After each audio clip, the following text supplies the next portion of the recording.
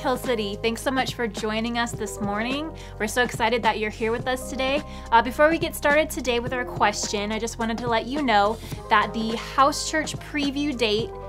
Can you stop? Are you really trying to mess me up because you're doing a good job? My brain's going, What's this? What's this? What's this?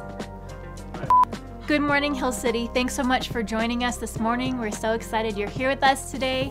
Uh, we just want to welcome you here to. I can't even do this. This is why I don't do this. This is why I don't do this at my house either. This is why I don't do this. Okay. Okay. All right, here we go. Good morning, Hill City. Thanks so much for joining us this morning. We're so excited that you're here with us today. Uh, before we get started today with our question, I just wanted to let you know that the House Church preview date is going to be on June 13th at 5 p.m. So if you're interested in seeing what a house church is really like, please go look in the comments and find the, the sign up link for that, and we would love to have you join us for that. So today, our countdown question is if there was one thing that you would say is a great smell. It's your favorite smell in the whole world, but somebody else might think it's a weird smell or even maybe a gross smell. What would that smell be? We're gonna learn brand new things about each other today. I would say a weird smell that I enjoy that others might not enjoy is probably maybe nail polish remover, which is weird, I know, maybe a chemical smell, but I enjoy it. So let's talk about it. Let us know down in the comments. Bye!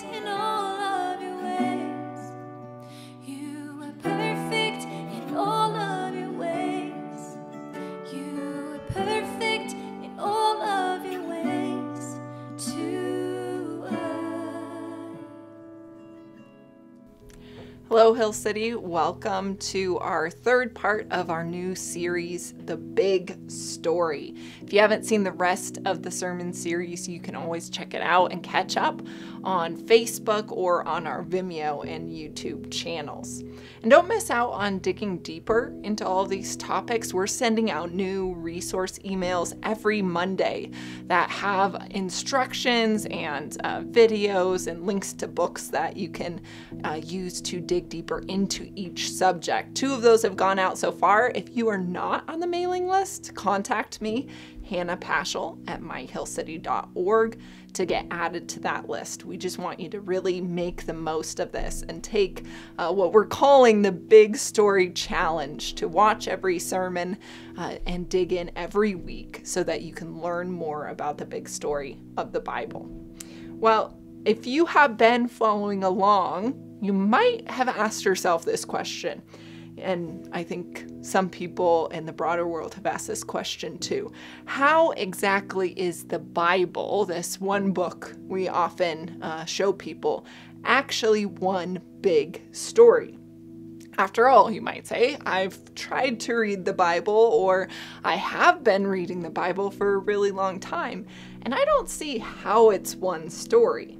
Well, scholars have actually argued the same thing for many, many years. Uh, they don't necessarily see the Bible as presenting a unified story. In fact, the idea of an overarching narrative or meta narrative governing everything from Genesis to Revelation, they say, shouldn't be used. We shouldn't talk about the Bible that way because, unlike a typical story or narrative where we see loose ends tied up and plot points explained, and certain themes or characters um, presented the same way throughout, the Bible instead seems to present a collection of literature. Uh, history, poetry, prophecy, and the like, that feels pretty disconnected sometimes.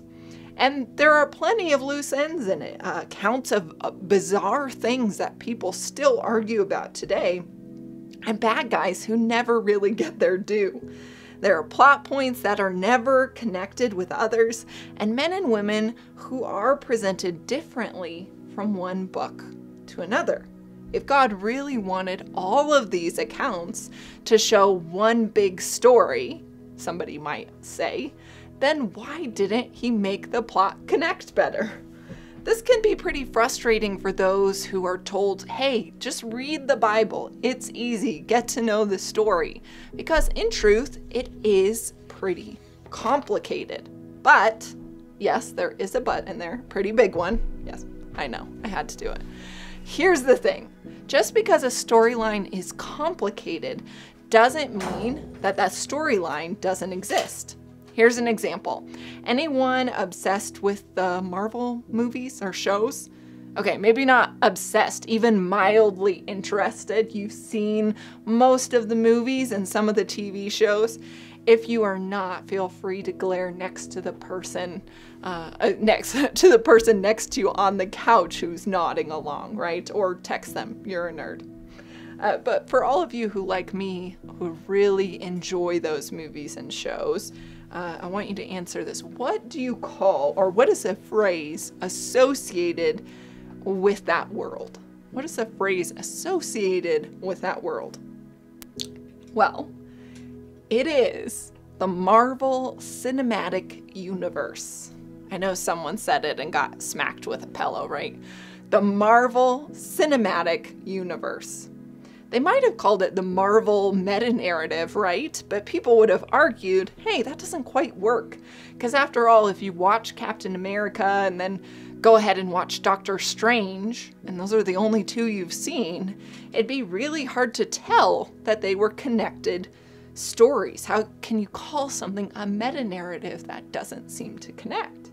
Well, even with all the different directors and writers involved and all the different finagling and deal cutting and, and arguing that goes on behind the scenes, the Marvel Cinematic Universe has managed to keep one big story going through many connecting plot points throughout their timeline and through each movie and show, even if it has required traveling in time at some points.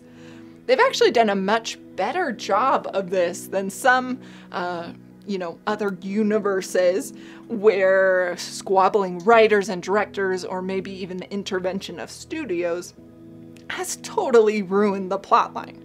Yes, I'm talking about Star Wars there. I know some of you are mad, but that's okay. So, what's my point? How does this connect? Just because the Bible is big and complicated and presents some questions that seem unanswered doesn't mean that all of those different parts aren't all part of the same universe. After all, someone as big and powerful and all knowing as God chose to record his story through a creation as tiny and faulty and flawed as humanity, then it's no wonder that humanity can't always see how those plot points line up. What we really need is a storyboard, right? We need some big diagram or defining grid through which we can understand this huge story and see it from a better angle. And that's what we hope we've provided with the five act outline that we've presented every week in this series. It's from the book, The Drama of Scripture. And it goes like this. Hopefully, you know it by now creation, fall, covenant, redemption, restoration. If you know it, you should say it along creation, fall, covenant, redemption, restoration. Here's the thing though, as mentioned, in the same way that watching one or two seemingly disconnected movies isn't going to help you understand that whole universe, reading one or two disconnected parts of the Bible isn't really going to help you understand the meta narrative much clearer.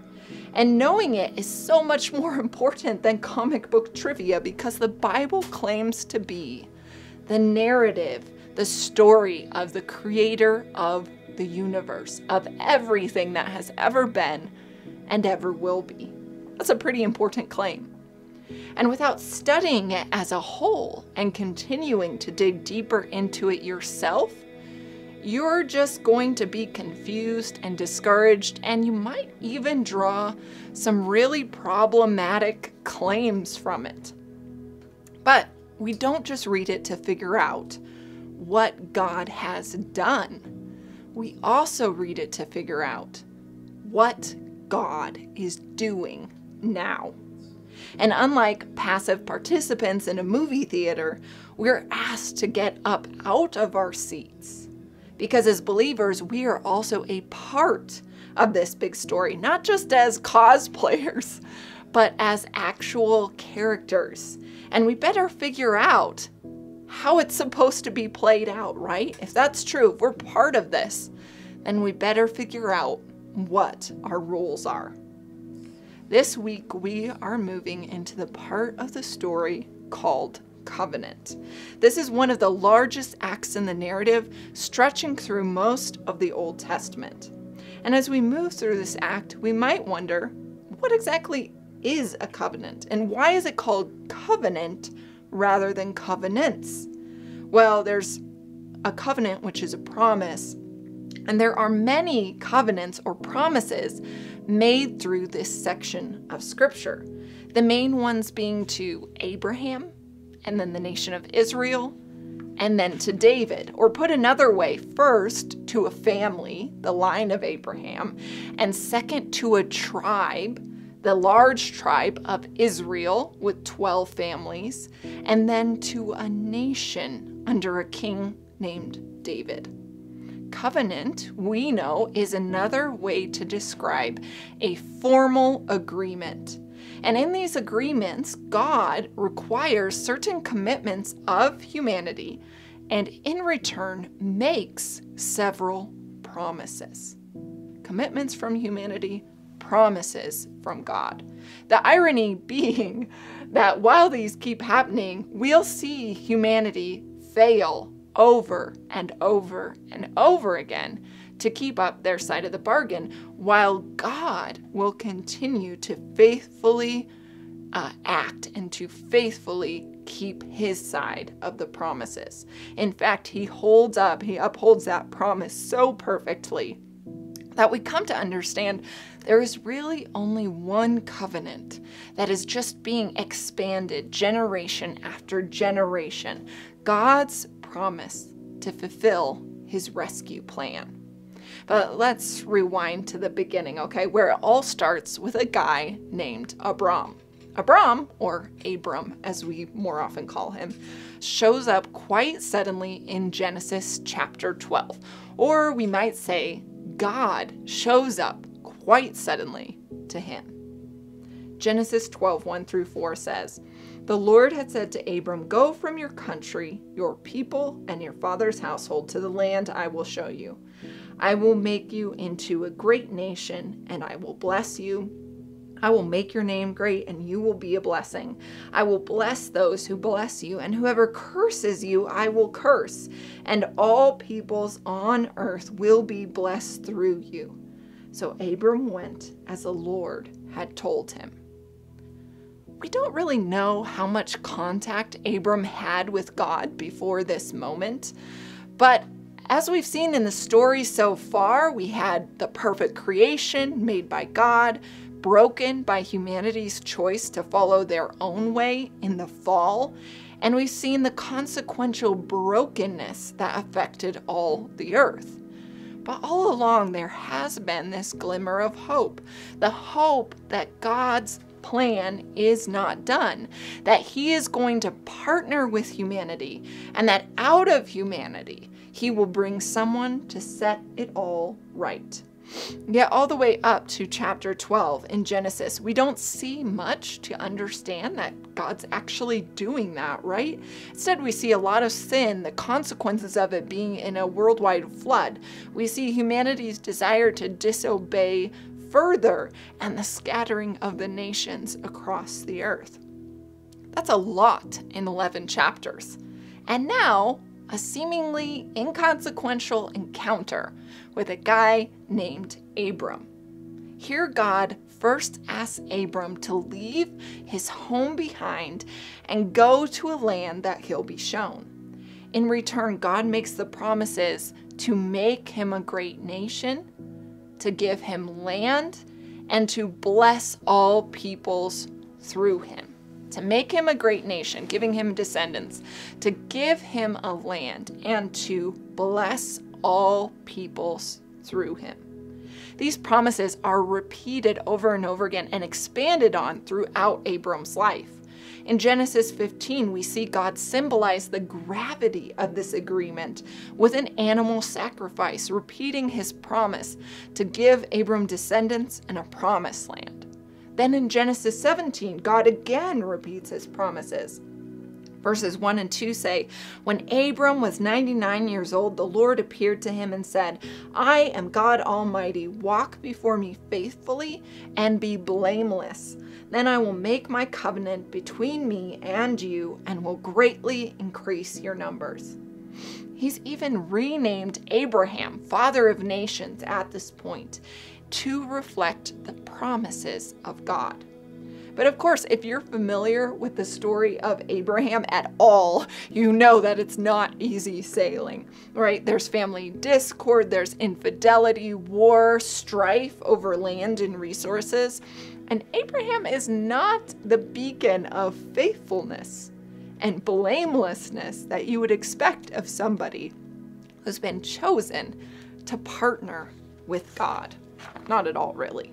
And things don't seem to get much better with his son or grandson either. But just as the Lord made a promise to Abraham, he repeats this covenant with the son Isaac. Genesis 26, 2 through 4 says, The Lord appeared to Isaac and said, Do not go down to Egypt. Live in the land where I tell you to live. Stay in this land for a while, and I will be with you and will bless you. For to you and your descendants I will give all these lands and will confirm the oath I swore to your father Abraham. I will make your descendants as numerous as the stars in the sky and will give them all these lands, and through your offspring, all nations on earth will be blessed. And then God repeats the promise, even to the wily trickster uh, grandson Jacob, who's at this moment running away from home. In Genesis 28 13 through 15, he says to Jacob, I am the Lord your God, the God of your father Abraham, and the God of Isaac. I will give you and your descendants the land on which you are lying. Your descendants will be like the dust of the earth, and you will spread out to the west and to the east, to the north and to the south. All peoples on earth will be blessed through you and your offspring. I am with you and will watch over you wherever you go, and I will bring you back to this land. I will not leave you until I have done what I promised you. And these promises are such that what should have been a blip on the radar, a footnote in the books of history, an unassuming patriarch, a fearful and often failing son, a lying, thieving grandson, becomes the foundation for the establishment of a nation. A whole nation defined by one repeated promise generation after generation that can be summed up by this statement we see in Exodus 3 6. I am the God of your father, the God of Abraham, the God of Isaac, and the God of Jacob. The covenant then isn't just a people, and it isn't just a land, and it isn't just pouring blessing out on all the nations, though that's probably the most important part we forget about. The covenant is God working with us. God working with the old and questioning Abraham. God working with the fearful and failing Isaac. God working with the deceitful Jacob. God working with humanity to save humanity. And it may be for you or for someone you know that you're put off a bit by this, by the God of the Old Testament. Because in working in and through faulty humanity, God gets involved in, I don't know, some shady situations, some very strange things. And in explaining this covenant to a specific people in specific circumstances, he uses means that would have been very familiar to them, but which just seem bizarre to us. After all, Abraham understood agreements made by cutting animals in two. And Abraham understood symbolizing promises on one's skin, like the strange rite of circumcision. Isaac understood tests of faith, like the one he went through on the mountaintop with his father, and blessings passed from generation to generation, from father to son. Jacob understood visions like the one of the ladder to heaven and how they gave glimpses into a reality just very just slightly separated from our own. And Jacob understood tests of strength like wrestling with a mysterious messenger for God's favor. So it isn't any wonder that we sometimes find the patriarchs bizarre, though I'd argue half the problem is not giving them enough context. But the bottom line isn't these things, these episodes, these rites. The bottom line is God's covenant. God keeping his part of the partnership. God working with faulty, broken people to fulfill the plan until his faithfulness shows up in a person. God incarnate Jesus Christ, the one who perfectly fulfills every broken commitment humanity has ever made. So that at the proper time, generations after Abraham, Paul can write in Galatians 3 26 through 29 So in Christ Jesus, you are all children of God through faith. For all of you who were baptized into Christ have clothed yourself with Christ. There is neither Jew nor Gentile, neither slave nor free, nor is there male and female, for you are all one in Christ Jesus. If you belong to Christ, then you are Abraham's seed and heirs according to the promise. Did you hear that part? Heirs according to the promise, inheritors of the covenant you and I, believers in Christ, aren't taking a backseat to the Old Testament where we look at it and we think, oh, God used to speak personally to people. Or, on the other hand, ignoring the Old Testament altogether because some parts seem strange to us. No, we are actually a part of this story, so we have to know it. Anyone who puts on Christ through faith, receiving what he has done to fulfill the promises of God, is a descendant, an heir of Abraham himself. And all the broken promises, the untruths, the failures are made right because Jesus is the fulfillment of all God's promises. And if this is true, if we're part of this story, a part of this covenant family, then we don't stop with the Old Testament. And, church, we don't stop with the New Testament either. As central as Paul's words are in Galatians, we shouldn't be stopping there and saying, yeah, you know, I'm part of the promise through Jesus, so mm, I'm going to go about my day now.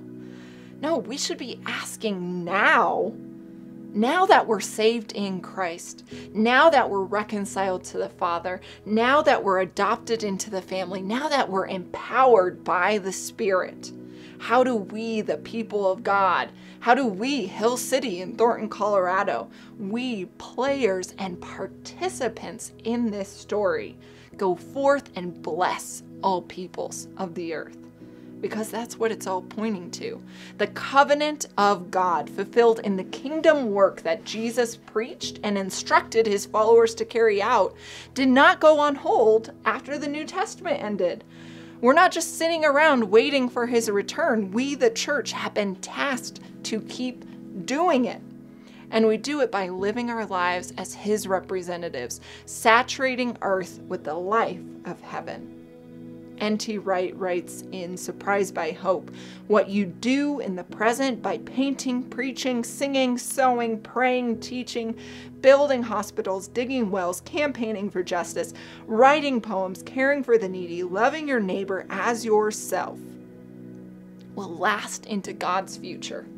These activities are not simply ways of making the present life a little less beastly, you can tell he's English, a little more bearable, until the day when we'll leave it behind altogether, as the hymn so mistakenly puts it.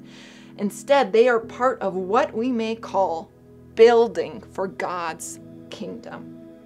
Those everyday acts, if they are carried out as heirs to the promise of God are part of what we may call building for God's kingdom.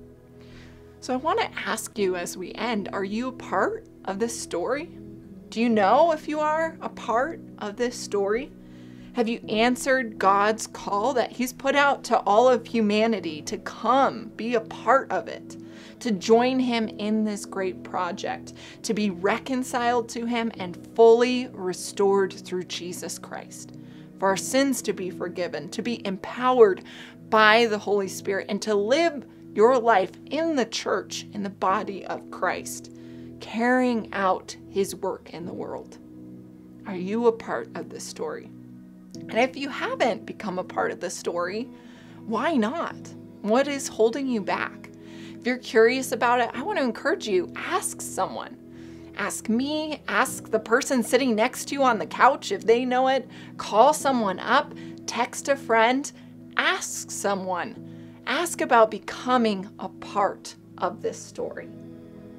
God is inviting you not just to be a part of story, but come be a part of this covenant because I'm faithful. I will never leave you nor forsake you. He's shown it for thousands of years, and He will show it until the end of time and beyond.